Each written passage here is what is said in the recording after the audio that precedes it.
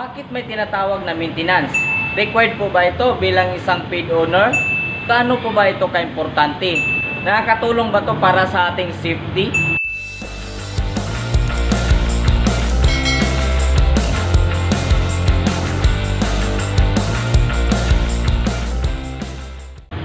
Ang sagot po dyan mga boss ay big yes po. So ngayon po mga boss ay pag-uusapan po natin kung paano po mag-maintenance ng ating mga gamit. So magpo-focus po tayo sa ating feed. Pag-uusapan po natin ngayon mga boss ay ang mga sumusunod. Brake system maintenance, lubricating system maintenance, steering system maintenance, bearings maintenance, tires maintenance, and the last but not the least is yung ating engine maintenance po mga boss. So lahat po na yan ay didiscuss po natin sa video na ito. Ang video na ito mga boss ay para po sa mga newbie na gustong mapalawak ang kalaman sa paggamit ng kanilang mga feed.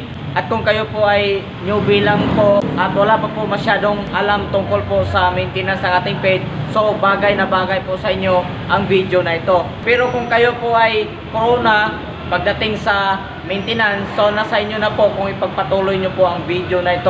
So watch for your own risk lang po mga boss. Marami po kasi mga paid users na hindi po ina-apply yung ah, tinatawag nating maintenance para sa feed po nila. As long as umaandar po yung feed nila o kaya yung nagagamit nila, so kontento na po sila doon kaya hindi na po nila ah, mini-maintenance po mga boss. Hindi na po nila chine-check yung kanilang feed po. Hindi po ibig sabihin mga boss na kung condition po yung ating feed ay hindi na po kailangan ng tinatawag nating maintenance. Kaya po kailangan natin ng maintenance mga boss kasi para ma-maintain po natin ang kondisyon ng ating feed. So naintindihan niyo po ba mga boss? Una po nating discuss ngayon mga boss ay ang ating braking system maintenance. So lagi po nating i-check yung ating brake lever mga boss. Ayan, ganyan po mag-check mga boss. Kung medyo ah, matigas na, so kailangan po ng ah, i-check po ninyo ng maayos. Ayan. So mas maganda po mga boss na patakan po ninyo ng konting langis yung ating brake cable. Ayan. Ito po mga boss. Tanggalin nyo lang ito. Madali lang po tanggalin yan mga boss. And then, patakan nyo po ng langis. Mas maganda po mga boss na tagos po yung langis hanggang dito sa may dulo. Ayan mga boss. Mas maganda na ah, hanggang dito po yung langis para masigurado po natin na yung langis ay umaabot sa buong kable talaga. Bakit po kailangan natin gawin yun mga boss? Kasi habang ginagamit po natin ng ating feed sa maulan o di kaya dahil sa katagalan na rin, so nagkakaroon po siya ng wear dito sa may kable at saka dito sa may harness na ito, itong ah, nakabalot na ito. So may wear po siya doon, may ah, metal to metal contact po siya kaya nagkakaroon po siya ng wear mga boss. So mas maganda na lagyan po natin ng konting langis po mga boss. Para maiwasan po ang pag-build up ng kalawang dito sa loob ng ating kable. Kasi minsan ah, kapag ginagamit natin sa maulan, pumapasok po yung tubig ulan dito. Kaya po nagkaroon ng kalawang sa ating kable. Then ang posibleng mangyayari doon ay mapuputol po yung ating kable. So napakadelikado po yun mga boss. Next po mga boss ay yung ating brake pad. So napaka-importante po yun mga boss. Kailangan po nating silipin yan every week o di kaya bago po tayo mag long ride. Masisili po yan dito sa gilid. Ayan, malalaman po natin kung ah, manipis na po yung ating brake pad. At hindi lang po sa kable ng ating preno ay kailangan ng ah, patakan ng langis. Pati rin po dito sa ating accelerator cable mga boss. Ayan. Kailangan din po natin tong patakan ng langis para maswabi po siya at malambot po siya ibalik. Ayan. Next mga boss ay yung spring nito. Ayan. May spring po yan mga boss. Dito po yon nakalagay. Ayan. Tanggalin nyo lang yan. Tapos, ang gagawin po ninyo mga boss ay isprayhan po ninyo ng WD-40 para hindi po siya kakalawangin. Next mga boss ay lubricating system maintenance. So, kasama na po dito yung ating engine, gearbox, at pati rin dito sa ating front suspension. Ayan, yung shock natin. Kailangan po natin ng ah, ilubricate po yan. Ah, sa engine po mga boss ay separate po natin yan. So isama po natin yan sa engine maintenance. Ito muna yung pag-uusapan natin ngayon. So, kailangan din ito ng gear oil. So ilagay ko lang dyan sa gilid kung anong ah, klaseng gear oil na gamit ko. So hindi na po tayo kailangan magbase sa brand ng gear oil mga boss. As long as gear oil siya, basta malagyan lang po siya, okay na po yon kasi ah, dalawa lang naman po yung gear dyan.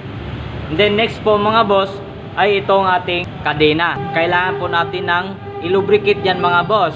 Napakadelikado po pag ah, tuyo po yan and then malaking posibilidad na mapuputol po yung ating kadena.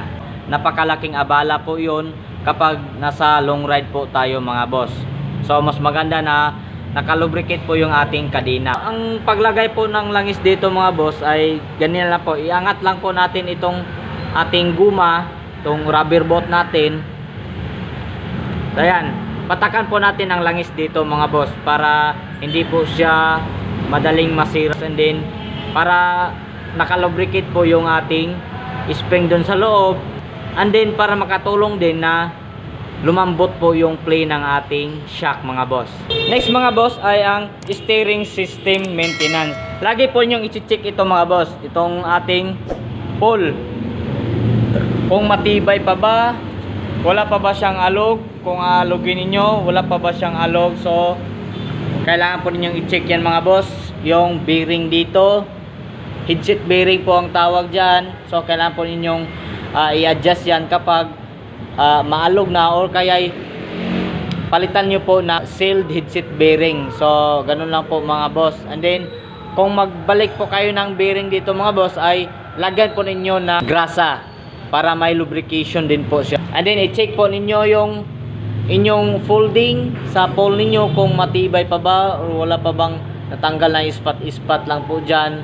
So, meron na po akong video para mapatibay po ang ating pole mga boss. So, ilagay ko lang dyan sa description box. Pakicheck na lang po mga boss. Kailangan po lagi nating check yung ating manibela mga boss bago po tayo sasabak sa long ride. Next mga boss ay yung bearing maintenance. So, saan po ba matatagpuan yung tinatawag nating mga bearing mga boss? So, matatagpuan po yan sa ating gulong. Ayan, sa mga gulong natin, sa mga hub. Meron po yung mga ah, bearing mga boss. Then, meron din pong bearing dito mga boss. Dito sa may para sa ating swing arm. Ayan. Ito po sa mga boss. So, lagi po nyong i-check yan. Yan kung may alog na ba o wala pa. Dito rin sa ating gulong mga boss. So napakadali lang po mag-check ng bearing dito sa ating gulong mga boss. Alogin nyo lang po yung ganyan. Ganyan po mga boss. And then pakiramdaman nyo po kung may play na po siya or may alog na po siya mga boss. Pati rin po doon sa may unahan. Ganon din po mga boss. Alogin nyo lang po. Next mga boss ay ang tires maintenance. So ang maintenance po ng ating gulong mga boss. Lagi po natin i-check yan. Kung wala bang bawas yung hangin ng ating gulong So ganyan, lagi po nating check yan bago po tayo ah, mag long ride or bago po natin gamitin. Panghuli mga boss ay yung ating engine. Ito po yung pinaka-importante po sa lahat. Unang-una mga boss, lagi nyo i-check yung kulay ng ating langis. Kung araw-araw po natin ginagamit yung ating pin mga boss, ah, papunta ng trabaho or pauwi. So, mas maganda na every 2 weeks po tayo mag-change oil. Kunti lang naman ang kailangan nating langis dyan mga boss, kaya wag po kayo magtitipid sa langis kasi yan po yung buhay ng ating makina. Next mga boss ay yung ating karburador. Ayan. Kailangan po nating i-check yung ating ah, air filter. Ayan. Lagi po nyong i-check yan baka kasi barado na ng ah, alikabok. So, washable naman po itong mga boss. Pwede po ninyo itong labahan mga boss. And then, ibalik nyo lang kapag natuyo na. Ganyan lang po mga boss. Ah, linis-linis lang po ng konti dito sa ating carburador. Huwag po nating hayaan na ah, marami na pong naka-imbak dyan na alikabok mga boss. And then, yung ating fuel hose. Ayan. Lagi po nating check yan. Kailangan ay hindi po siya naiipit. Ganyan. At mas maganda po mga boss ay nakabalot po siya kagaya po nito. Sunod ay ang ating full start. So ayan, lagi po nating check yan mga boss.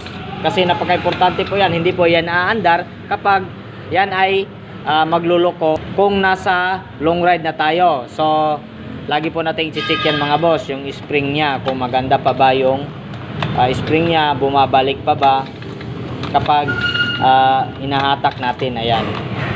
Next po mga boss, yung spark plug natin mga boss, huwag po nating tanggal kabit mga boss kapag mainit po yung ating makina. Palamigin nyo muna bago po kayo magtanggal kabit ng inyong spark plug.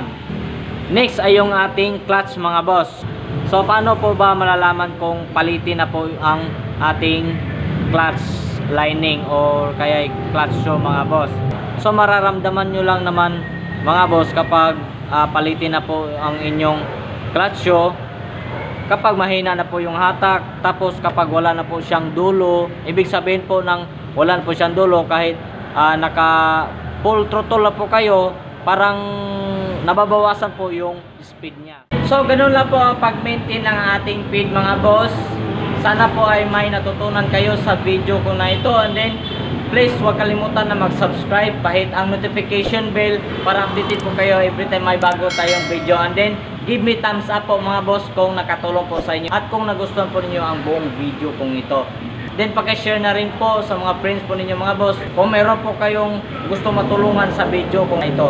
So maraming maraming salamat po mga boss. Ride safe po always mga boss and then God bless